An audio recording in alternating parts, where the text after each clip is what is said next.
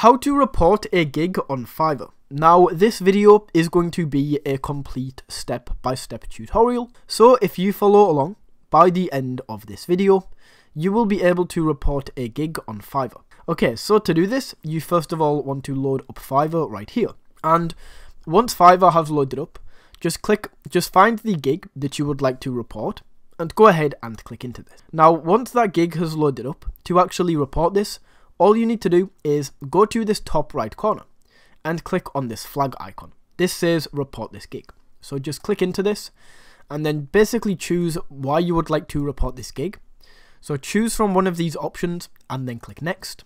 From here, you then want to choose what you would actually like to report. So whether this is the audio, description, image, or anything like that.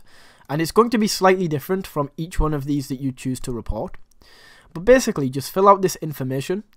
Once that is done, just click on submit in this bottom right corner. And that is how you can report a gig on Fiverr.